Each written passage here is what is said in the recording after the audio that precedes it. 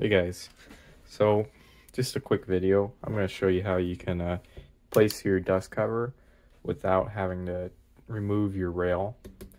Um, so it's pretty simple.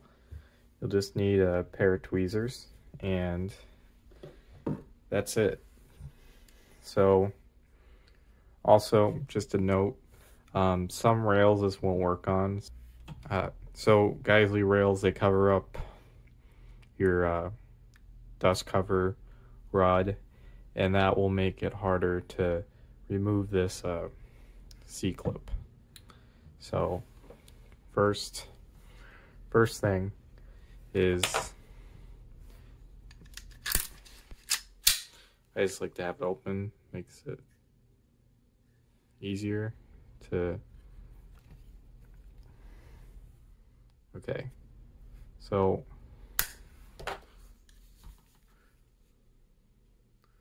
what I'm doing here is I'm just making sure the C-clip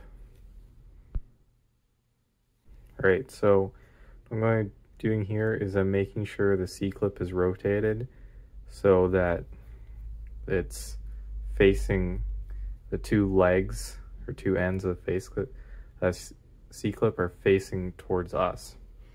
So once we have that, can take our tweezers and you want sort of a like a blunt nose. You don't want it too fine. And we can just take that and we can hook them can hook them on the legs there.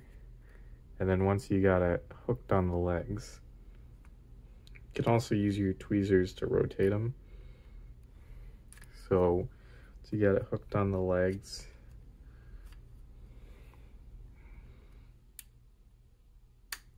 can use that to uh, push it off.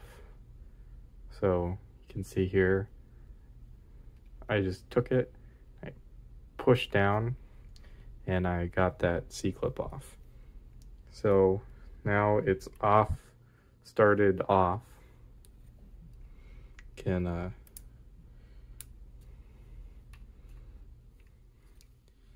do some pushing in there. Oh, fish the C-clip out, um, put that somewhere safe.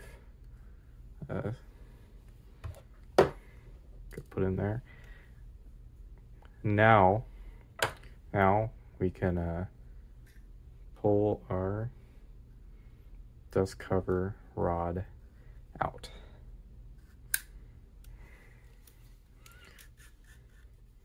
So It'll be easier you use your, if you unlatch it. So, I'm gonna continue pulling it out. Make sure you get your spring and you can continue pulling it out this way until it comes off all the way. So just note this won't work on um, all right so now we got it off. Now it's time to put it back on. So you're gonna do, make sure you get your rod, dust cover rod, make sure it's facing the correct way. Start it in the hole. So it's a bit difficult to show you guys on camera. So start that in the hole once you have it started. Just a little bit. You can put on your dust cover.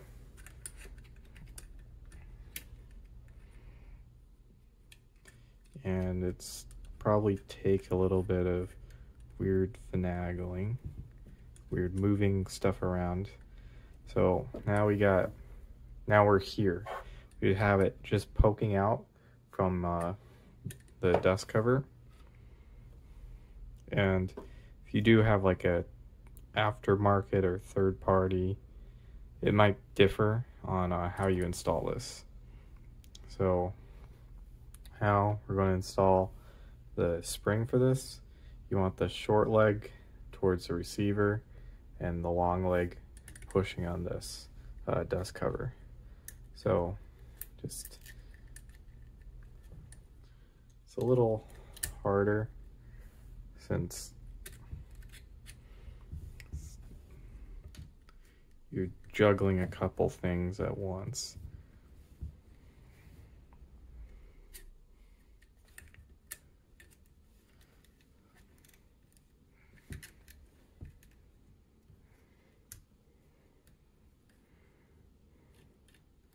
and there uh, the little leg so if you're when you're doing this say you move it wrong your little leg goes uh, stops you can take your thumb you can use that to rotate the leg back into place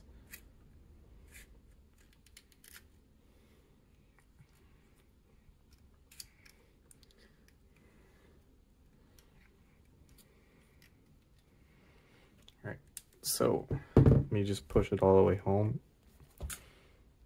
All right, so now, now we have it pushed all the way forward, um, all the way butting up against our rail. So I'm just gonna close this and make sure it works properly. So if it, yep, works properly. If it didn't, then you'd make sure your spring is uh, set up correctly.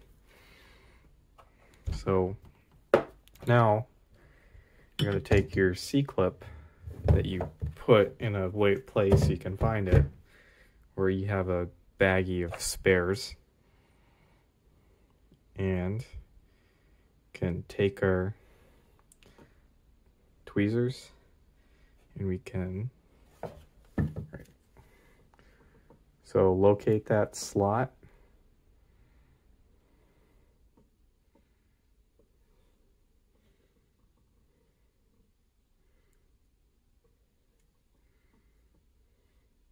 And you're putting a lot of pressure on these tweezers because you don't want this to slip.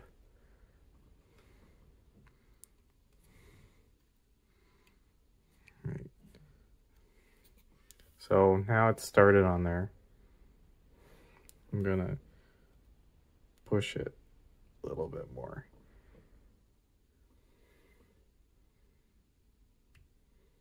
So now that's on there.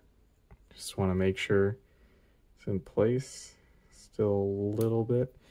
Just pushed it home with my fingernail. Now we have our new, or in my case, the same dust cover on there without having to go and disassemble our rail and mess with our zero or just have to strip everything. Alright guys, so I hope that helped you. Um, check out my other videos if you're interested. Uh, see you guys next time.